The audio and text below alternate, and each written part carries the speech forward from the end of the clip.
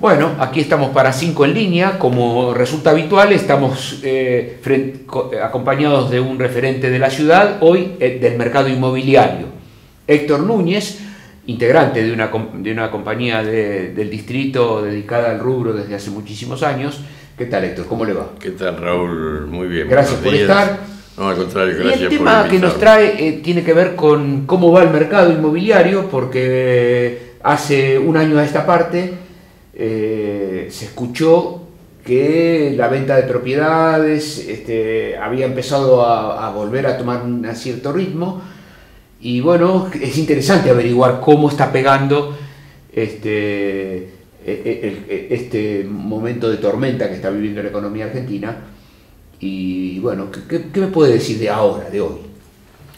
Bueno, de, hablando de hoy, el mercado inmobiliario está sufriendo una retracción importantísima. Se, frenó. Se frenó totalmente, o sea, mm, eh, las caídas no fueron de un 20, 30, 40, 50, como uno escucha a otros rubros de la actividad económica.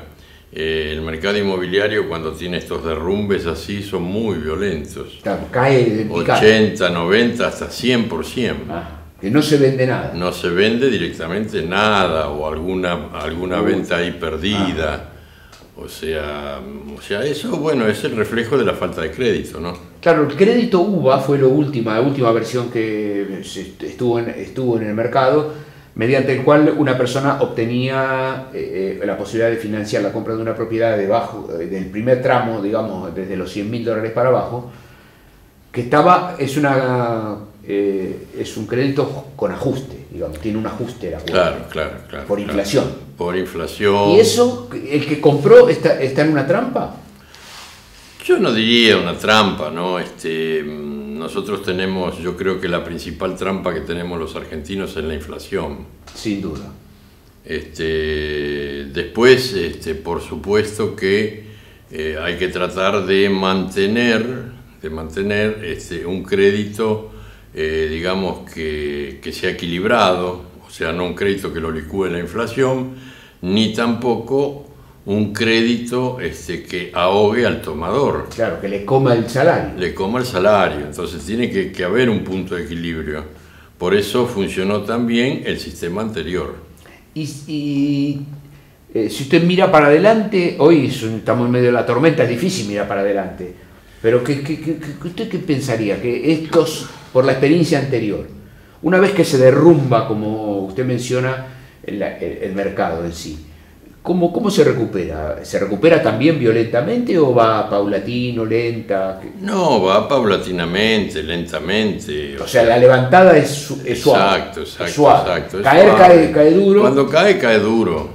Y este, después para levantar. Después comienza a levantarse lentamente cuando digamos, el tomador del crédito ve sus posibilidades de pago.